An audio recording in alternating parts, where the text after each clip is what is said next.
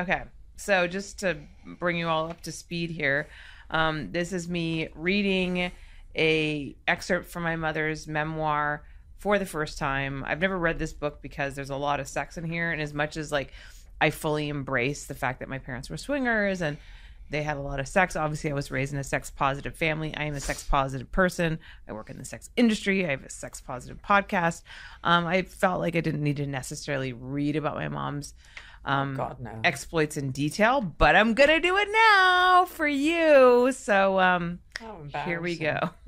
Oh, It's my life being embarrassed by my family. All right. The door was opened by a seedy 60 year old with thin gray hair and teeth that flashed with gold fillings when he smiled. Hello, sweetheart, he crooned. I'm Sydney. Come in, come right on in. This was obviously Dee's sugar daddy. I was beginning to get cold feet. What on earth is my date, or whatever they're called, going to be like? I saw Dee, a voluptuous, tardy blonde, standing next to an armchair. Cooey! The fuck is that? She said, giving a little wave. Wedged into the armchair was one of the fattest, most repulsive men I'd ever seen. He rose ponderously to his feet, a cigar as thick as a banana in one fist. This is Bill, Sidney said, guiding me over to my $50 daddy. Sidney must have seen the look of despair on my face, for he immediately poured me enough vodka to stun a horse. I gulped it down like lemonade, determined to get blotto as quickly as possible. We sat down to a lunch of salmon and champagne, which cheered me up a lot. Either I like salmon. Then came the show. Dee led the romp, giggling and wiggling out of her clothes, a real pro. By now I was roaring drunk, but I still fell out of place. I mimicked Dee's striptease as if it was some child's game of follow the leader. When we were down to bra and panties, I had to go to the bathroom. Dee followed me. Realizing that this wasn't at all my cup of tea, she said, Darling, you know you don't have to go through with this. If you want to, you can call it all off now and split home. No chance, I said. Stiff upper lip, never say die, and all that.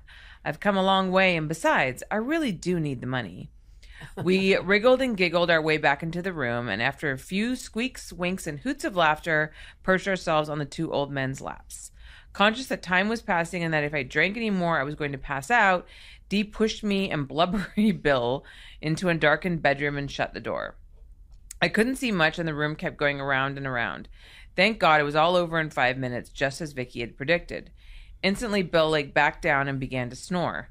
Despite my drunken condition, I scooted out into the empty living room and got dressed, wondering how I was going to get paid. I needn't have worried. When I opened my bag, it was there in five pound notes. I escaped into the gray winter's afternoon, hailing a cab on the embankment.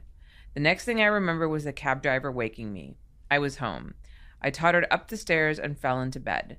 When I awoke a few hours later, it all seemed like a bad dream. I reassured myself by taking another look at the money. Hello, composite. I said to myself, rolled over, and went back to sleep. composites are like the, Modeling composite. the modeling. Oh, okay, okay. I was not, I was not getting that. So, I'll get a better one, another one for you. Give Oh, it to me. okay. Well, I just want to point out the fact that that is um so mom, you uh you were as as we say nowadays, you were doing an in-person sex work service. Yeah, I needed the money. I only ever did it once, but um, I was quite, I was quite good at fat old men because when Hum and I went to the swinging parties in Amsterdam and everything, a lot of the people there were unattractive. Um, so you ended up being a goddess of love and just fucking them all, you know. And then you floated above. You floated above their ugliness. Wow.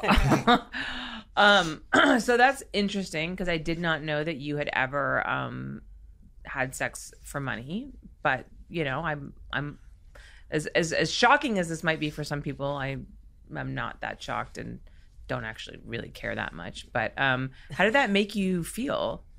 A little bit richer. a little bit richer. But like, did you feel like how did you feel afterwards? Did you regret it? Did you feel shameful about it? Or- No, no, no. I mean, we. I needed the money. no, no. I mean, I'm, I'm like all for like I I'm super positive about sex work in all its forms. So I'm definitely not somebody who's going to talk down about like any form of prostitution. Yeah, but I wasn't going like to. I wasn't going to do it again. I mean, right. So then you just went to orgies and then had sex with unattractive men for free. We'd been doing that beforehand, I think. I can't remember when we went to Amsterdam and all those swinging parties.